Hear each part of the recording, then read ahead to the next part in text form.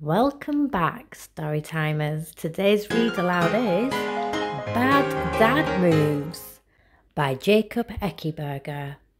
I have to ask about your dad to see if he's like mine.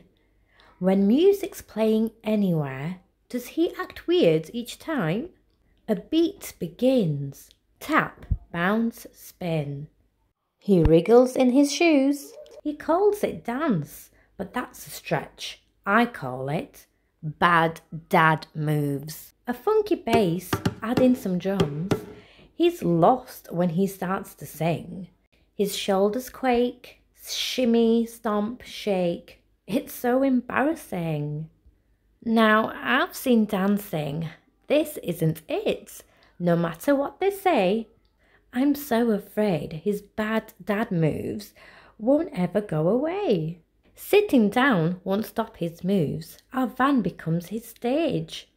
He rocks guitars and grabs the mic. I have to look away. No one wants to dance along. He doesn't seem to care. He'll gladly dance all by himself while everybody stares. Oh, this is classic. His hips will sway. He'll reach out for Mum's hand. She'll swat and turn, laugh him away. But that won't stop his dance. His moves will show up anywhere. There's music with a groove.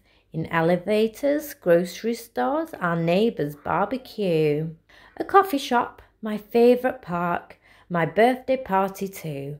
I try to stop his bad dad moves, but it's just no use. So listen, pal, I'll share with you a remedy to use. Since there's no way to stop his moves, you should join in too. Make up a dance that's all your own. Jump and swirl and slide. Pump your rock fists, twist and shake. Give belly drums a try. Go wild, get loud.